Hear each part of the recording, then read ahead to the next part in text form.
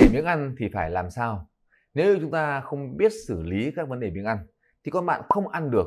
Không ăn được thì sao bạn bé không đảm bảo về mặt dinh dưỡng, về mặt vitamin và khoáng chất, bé sẽ không tăng cân, phát triển chiều cao không tối ưu và quan trọng hơn cả đó là sức đề kháng của bé rất là kém và bé sẽ hay ốm và các bạn rất là mệt mỏi để chăm con.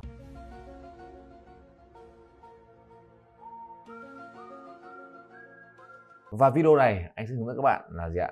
À, cách xử lý cái tình trạng con biếng ăn như thế nào khi chúng ta đã có đầy đủ kinh tế rồi thực phẩm rất là nhiều rồi nhưng tại sao tình trạng trẻ biếng ăn nó lại nhiều đến như vậy phải không ạ? Và hàng ngày uh, trung tâm sức khỏe nhi khoa Century vẫn nhận hàng nhận hàng trăm những trường hợp biếng ăn để xử lý để giúp đỡ các bạn. Và anh không biết là cách nào đó mà các bạn xem được cái video về biếng ăn của bác Đạt đúng không ạ? Và anh xin chúc mừng các bạn vì các bạn đang xem cái video này. Các bạn chắc chắn rằng đã tốn rất nhiều tiền để điều trị biếng ăn cho con mình nhưng mà nó không hiệu quả. Và trung tâm tự hào rằng đã hỗ trợ hàng triệu bà mẹ ở Việt Nam xử lý vấn đề con biếng ăn trong suốt năm, sáu năm qua. Được các bạn? Đấy. trước tiên thì các bạn muốn điều trị cái tình trạng biếng ăn của con mình thì bạn phải biết rằng gì ạ? Cái nguyên nhân nó như thế nào. Các bạn đừng hiểu rằng à bác đạt ơi, có thuốc gì uống để có hết miếng ăn hay không? Thưa các bạn, chẳng có loại thuốc nào cả đâu ạ. À bác đạt ơi, có loại sữa nào cho con uống để mà con hết miếng ăn không? Anh cũng thưa các bạn, nếu như mà có một loại sữa để con các bạn hết miếng ăn thì chắc chắn rằng loại sữa đó sẽ giành giải Nobel trên thế giới đúng không ạ? Đấy, và nó vì sao ạ? Vì nó chẳng có loại sữa nào để giúp các bạn hết biếng ăn cả đúng không ạ? Đấy, thì muốn các bạn muốn xử lý miếng biếng ăn được ấy thì các bạn phải tìm được nguyên nhân. Nếu các bạn không tìm được nguyên nhân biếng ăn chúng ta sẽ không giải quyết được vấn đề. Phải không các bạn? Đấy, cho nên các bạn phải nhớ rằng muốn xử lý được triệt để biếng ăn muốn có ăn ngoan hơn thì mình phải tìm được cái nguyên nhân gây ra biếng ăn. Đấy. và trung tâm sức khỏe nhi khoa Century đúng không ạ? Đã à, dựa vào những cái kinh nghiệm mà trung tâm hỗ trợ hàng, hàng triệu bé đã đúc kết lại tổng hợp lại thành một cái phác đồ điều trị biếng ăn cho các bạn. Và nó rất là hiệu quả. Và hy vọng rằng các bạn sẽ tiếp thu được à, và kiên trì và áp dụng triệt để. Điều đầu tiên mà bác đặt muốn chia sẻ với các bạn à, biếng ăn nó không phải là một bệnh. Các bạn ạ biếng ăn không phải là một bệnh. Biếng ăn nó là cái biểu hiện của một tình trạng nào đó có đúng không? Bé bị vấn đề nào đó trong cơ thể của trẻ của bé. Ví dụ như là gì ạ? À bé hôm nay cảm thấy mệt mỏi ví dụ hôm nay bé cảm thấy đau bụng. Ví dụ à, bé hôm nay cảm thấy dạ, à, lưỡi nó bị nhiệt nó bị uh, bị bị bị bị tưa lưỡi. Và biểu hiện ra bên ngoài là bé không muốn ăn. Có đúng đúng không các bạn? Nếu như vậy là gì ạ cái cái tình trạng cơ thể của bé nó bị vấn đề và nó biểu hiện ra bên ngoài là trẻ không muốn ăn. Cho nên chúng ta không phải đi trị biếng ăn mà chúng ta phải đi giải quyết cái cái nguyên nhân để gây ra cái tình trạng không ăn đó. Và nếu có phần nào đó các bạn chưa rõ hoặc có câu hỏi nào các bạn hãy comment ngay dưới cái video này anh sẽ làm video tiếp theo để giải đáp cho các bạn vì YouTube sẽ ưu tiên phân phối các cái video có nhiều like vì vậy các em đừng quên like video chia sẻ video và đăng ký kênh YouTube của Trung tâm Sức khỏe Nhi khoa Century để giúp anh lan tỏa những điều ý nghĩa, những phác đồ, những cái phương pháp làm sao để nuôi con khỏe mạnh, để nuôi con không lạm dụng kháng sinh. À, anh đã có tổng hợp một số các cái nguyên nhân mà anh chia sẻ các bạn đây nó rất là hay. Tại vì sẽ có rất nhiều bạn ở đây mà con sẽ uh, nằm trong các cái độ tuổi khác nhau. Ví dụ có những bạn bé 4 tháng mà anh đạt ơi con em rất là biếng bú thì có cách nào không? Đúng không ạ? Thì có bạn con đang giai đoạn từ 6 đến 12 tháng con biếng ăn.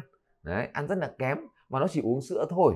Thì cách làm cách nào để con ăn tốt hơn? Đó đúng không ạ? À, rồi nữa ạ có những bé dạ, à, từ à, trên một tuổi mà bé biếng ăn thì chúng ta sẽ phải làm như nào? Những nguyên nhân nào nó thường gặp ở trong giai đoạn đó đúng không? thì video này nó vô cùng quan trọng cho các bạn Đấy, thì ngoài ra nhé các bạn nhé thì các bạn xem video này ấy, thì các bạn phải liên hệ với trung tâm sức khỏe nhi khoa Century đấy à, cái page cái page trương đạt trung tâm sức khỏe nhi khoa ấy để các cô sẽ hướng dẫn thêm các bạn. Tại vì mỗi một bé sẽ có một chế độ dinh dưỡng khác nhau có một thói quen sinh hoạt khác nhau và có một cơ địa khác nhau. Cho nên chúng ta sẽ phải xử lý cá nhân hóa rất là cao. Cá nhân hóa là gì? Là mỗi bé có một đặc điểm khác nhau mà không thể chung được. Còn cái video này bác đạt thì chỉ ra cho các bạn các cái nguyên nhân cơ bản gây ra tình trạng biếng ăn ở trẻ em đúng không ạ? Và chia ra các giai đoạn. À, giai đoạn thứ nhất đó là giai đoạn từ 0 cho đến 6 tháng tuổi đúng không ạ?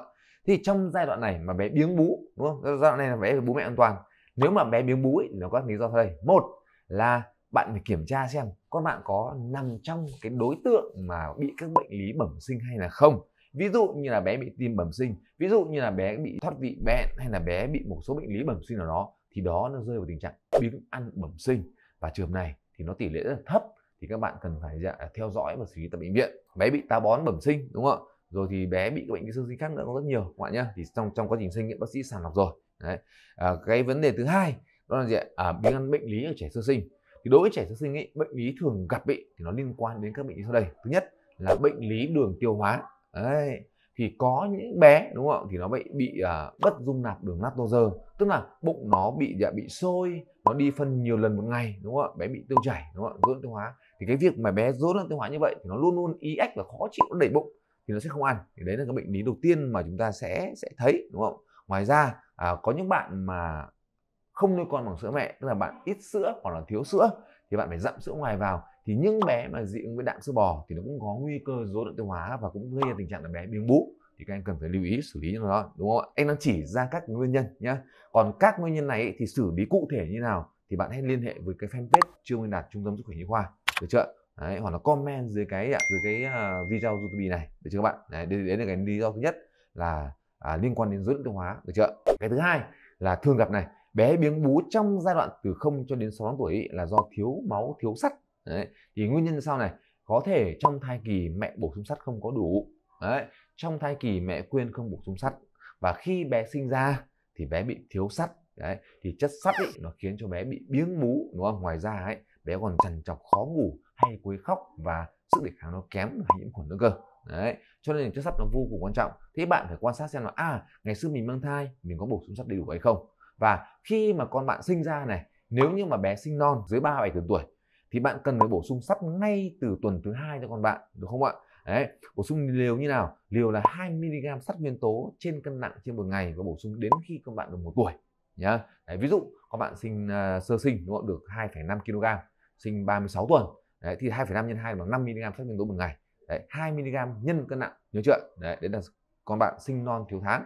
Trường hợp thứ hai là con bạn sinh đủ tháng đủ ngày thì trong 4 tháng đầu tiên thì lượng sắt dự trữ đủ rồi và sang tháng thứ năm bạn phải bổ sung sắt cho bạn ngay được không ạ? Với liều dự phòng là 1 mg sắt nguyên tố trên cân nặng trên một ngày. Ví dụ là 4 tháng thì các bạn là 6 cân 6 nhân 1 bằng 6 là 6 mg sắt đúng không ạ? Thì đây là cái vi chất mà thường thiếu đối với các bạn. Đấy. À, vì các bạn biết không ạ? Thống kê thấy rằng gì ạ? À, phụ nữ Việt Nam cái tỷ lệ mà thiếu máu thiếu sắt cũng rất là cao. Đấy nó khoảng nó khoảng 30 phần trăm hơn 30 phần trăm. Đấy thì các bạn thấy không cái nguy cơ mà con thiếu máu thiếu sắt gây tình trạng biếng bú trong giai đoạn từ 0 6 tuổi rất cao các bạn lưu nhá. Đấy các bạn thiếu máu thiếu sắt. Ngoài ra dạ, trẻ bị thiếu vitamin D3 khi mà con bố mẹ hoàn toàn này hoặc là bố sữa thức trong cái giai đoạn từ 0 đến 6 tuổi này thì nguy cơ thiếu vitamin D3 rất là cao vì mẹ trong sữa mẹ nó rất ít D3 rồi sữa công thức ấy, thì trẻ phải bú được à, gần một lít sữa công thức 960 ml sữa công thức thì mới đủ D3 thì trẻ sơ sinh như vậy thì chỉ bú được 400 500 ml một ngày thôi thì nó sẽ không đáp ứng đủ D3 đúng không ạ? Cho nên chúng ta không bổ sung D3 trong dạo này thì cũng khiến trẻ bị biếng ăn và trẻ sơ sinh cần phải được bổ sung D3 là 400 đơn vị trên một ngày. Các em đồng ý chưa? Nhớ điều đó nhé đấy là bị biếng ăn do thiếu vi chất thiếu sắt này thiếu D3 này đúng không ạ? Đấy. ngoài ra bé có thể bị thiếu canxi. Đấy, do thai kỳ của mẹ không bổ sung canxi thì bạn phải uống canxi để để canxi qua sữa nhiều để giúp con bạn có nhiều canxi hơn. Đấy đấy là cái tình trạng mà dạng biếng ăn thường gặp ở trẻ từ 0 cho đến 6 tháng tuổi. Ở đây là chỉ biếng bú nhá. Đấy, đây là thứ nhất. Bác đạt chỉ chỉ ra các cái nguyên nhân cơ bản và cách xử lý cho các bạn đúng không ạ? Và để xử lý cụ thể bạn phải dạ, liên hệ với uh, cái page trương minh đạt trung tâm sức khỏe nhi khoa Century hoặc là comment dưới video livestream này đúng không? Để được hướng dẫn. Tại mỗi bé sẽ một được uh, có một chế độ cân nặng rồi dinh dưỡng khác nhau nên là phải xử lý khác nhau. Nhưng cái này nó chỉ là cái nguyên nhân chung mà bác đạt chỉ ra cho các bạn thôi hiểu chưa? Để chúng ta không phải tốn nhiều tiền quá mức để đi điều trị biếng ăn cho con mình mà cuối cùng là không giải quyết được vấn đề. Có đúng không ạ? Thực tế rất nhiều như vậy rồi nhá. Đấy đối tượng thứ hai là đối tượng từ 6 cho đến 12 tháng tuổi. Đối tượng nếu mà con bạn nằm trong đối tượng này mà bé bị biếng ăn thì làm sao? Đấy. Thì trong giai đoạn này thì nó có một số nguyên nhân sau đây. Cái nguyên nhân thứ nhất ý, là nguyên nhân đầu tiên ý, nó thường gặp nhất ý, là do ăn dặm sai phương pháp. Đấy.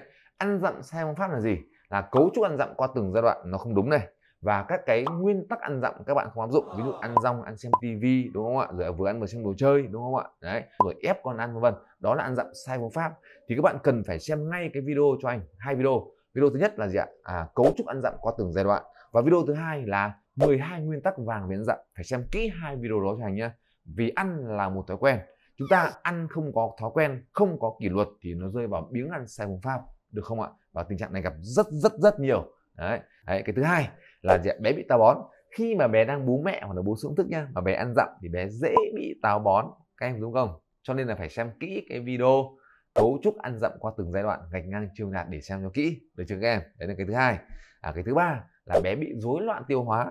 Thì trong cái giai đoạn này là trẻ bắt đầu làm quen với thực phẩm khác ngoài với sữa mẹ Đấy, thì nó dễ bị rối loạn tiêu hóa khi mà các bạn lựa chọn thực phẩm không đúng. Khi mà thực phẩm cho các bạn để từ sáng đến tối để cho con ăn khi mà chế biến bữa ăn nó không đảm bảo vệ sinh thì nó dễ bị nhiễm khuẩn tiêu hóa và bé nó có vấn đề. Đấy thì phải kiểm tra xem con mình có bị rối loạn tiêu hóa hay không. Đấy, được chưa các bạn? Đấy nhá. À, tiếp theo là gì ạ? Bé bị sống phân. Tại vì cái cấu trúc ăn dặm mà không đúng ấy thì nó sẽ bị sống phân. Đấy, sống phân thì không tiêu được thì nó sẽ bị rối loạn tiêu hóa và nó cũng sẽ không ăn đâu. Đấy. Cho nên các bạn phải lưu ý này ở trong cái à, video mà dạ, cấu trúc ăn dặm qua từng giai đoạn thì bác đạt có chia sẻ các bạn là áp dụng phương pháp ăn dặm gì để cho phù hợp giai đoạn này. Thì bác thường hướng dẫn rằng dạ hãy cho bé ăn dặm phương pháp bé chỉ huy và ăn dặm truyền thống kết hợp với nhau để à, tận dụng các ưu điểm của nhau và dạ, à, loại trừ để, để để để hỗ trợ các cái nhược điểm của nhau. Đấy, như vậy nha. Và một điều nữa dạ bé có thể là thiếu sắt. Thiếu sắt do các bạn không bổ sung. Như cái trường hợp này, trước 6 tuổi thiếu sắt ở đây ấy, là do bạn không bổ sung sắt đúng không? À, đúng cái cái cái bác đặt khuyến cáo ở trong giai đoạn từ 0 đến 6 tuổi. Đấy rồi ngoài ra thiếu có thể thiếu vi, các vitamin và đặc biệt là vitamin A và vitamin D cho nên nhớ là phải uống vitamin A ừ, theo chương trình quốc gia à, bổ sung D3 cho trẻ như cái à, giai đoạn từ 0 đến 6 tuổi mà bắt đầu hướng dẫn nha thì đó là các cái nguyên nhân trong giai đoạn từ 6 đến 12 tháng tuổi mà bé thường gặp. Thì các bạn hãy xem mình va vào cái nguyên nhân nào và mình sẽ xử lý nguyên nhân đó được chưa? Đó là nhóm thứ hai.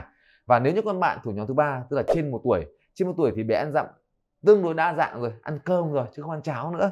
Bạn nào một tuổi mà vẫn ăn cháo ấy tức là ăn sai cấu trúc đúng không? Bạn nào hai tuổi mà đã, vẫn ăn cháo ấy là ăn sai cấu trúc rồi thì bạn phải xem lại ngay cái video là dạng nguyên tắc ăn dặm 12 nguyên tắc ăn dặm dược sĩ Trương Minh Đạt đúng không ạ? Đấy. Thì trong cái giai đoạn mà trên 12 tháng tuổi này ấy, thì cái miếng ăn ấy thường này thường này thứ nhất là là do ăn sai phương pháp như bác vừa nói đúng không? Bây giờ vẫn ăn cháo là không được rồi. Bây giờ mà diện bé chỉ ăn rau hơn thịt bé chỉ ăn thịt hơn rau bé chỉ ăn trứng à, đó là ăn dặm sai phương pháp. Ăn một bữa cơm là gì ăn hai tiếng mới xong. Ăn phải có tivi ăn phải có đi chơi phải rong chơi vân vân là ăn sai phương pháp. Đấy rồi độ thua không đúng thì nó gây ra cái tình trạng biếng ăn. Đến giai đoạn này mà bé vẫn ăn cháo ấy thì là bé sẽ thiếu dinh dưỡng. Đúng không ạ? Nó không đáp đủ nhu cầu đâu. Và khi mà bé bị thiếu dưỡng thì bạn lại vứt cho con sữa. Đấy nên là trên một tuổi mà uống hơn 500 ml sữa một ngày ấy, là con bạn chắc chắn suy dinh dưỡng ở miếng ăn. Và đặc biệt là bị thiếu máu thiếu sắt vì sắt trong sữa công thức là rất là ít. Đấy chuyện ăn dặm sang pháp nó rất nguy hiểm ở đoạn này như vậy nhá. À, đây là đầu tiên. Đó là bệnh lý khác nữa là bệnh lý còi xương suy dưỡng. Bạn không bổ sung vitamin D3 không bổ sung canxi cho trẻ không bổ sung sắt cho trẻ trong giai đoạn trước đó. Và để đến giai đoạn này thì bé sao bạn bị thiếu vi chất và nó gây dẫn tình trạng biếng ăn đấy, được chưa các bạn? Rồi à, bé bị thiếu kẽm thiếu sắt rồi trẻ bị rối loạn tiêu hóa đúng không trong giai đoạn này thì bé có nguy cơ bị nhiễm khuẩn tiêu hóa rất là cao. Đấy thì đấy là một số các cái lý do mà khiến con bạn bị biếng ăn trong giai đoạn để trên một tuổi được chưa? Đấy thì đó là một số các nguyên nhân. Thì khi các bạn biết các nguyên nhân đó đúng không? Khi mà các bạn biết con mình ở giai đoạn này thì bác đạt chia sẻ rồi. À, thì nó thường gặp ở nguyên nhân này đúng không? Nguyên nhân đầu tiên là ví dụ trên 12 tháng tuổi này thì nguyên nhân sai phương pháp này à, sai cấu trúc này à, thiếu sắt này thiếu D3 này thiếu canxi này đúng không ạ? Đấy rồi bị rối tiêu hóa này đúng không ạ? Đấy rồi bé bị dùng kháng sinh rồi bé bị ốm đúng không ạ? Thì đó là các nguyên nhân thường gặp nhé các bạn nhé. Thì đó là những cái nguyên nhân mà thường gặp ở đứa trẻ biếng ăn thì các bạn muốn xử lý biếng ăn thì nhất định bạn cần phải điều trị từ nguyên nhân đấy, thì anh nói rồi, mỗi một bé thì nó sẽ có một cơ địa khác nhau, đúng không? Thì ở đây video này thì nó không có, thời lượng nó không có có nhiều. Thì bác đạt chỉ đưa ra một số cái nguyên nhân ở trong từng giai đoạn để bạn nắm được cái sơ bộ và từ đó bạn phải nhắn với pet trương minh đạt, đúng không? Trung tâm sức khỏe nhi khoa để được hướng dẫn cụ thể hơn. Đấy, và phần nào đó các bạn chưa rõ, các bạn có thể comment dưới video này. Con bạn đang miếng ăn mà chưa xử lý được, hãy comment dưới video này. Và đạt sẽ chia sẻ thêm với các bạn. Và các bạn đừng quên subscribe kênh youtube của trương minh đạt để theo dõi các video khác nữa. Trên kênh nó có khoảng gần 500 video cho các bạn. Đó là những gì mà bác đạt có thể cống hiến cho các bạn, giúp đỡ các bạn để các bạn nuôi con khỏe mạnh hơn và ít lạm dụng kháng sinh. Quan trọng hơn là nhàn và ít tốn tiền hơn. Và chúc các bạn nuôi con thành công. Và xin chào các bạn.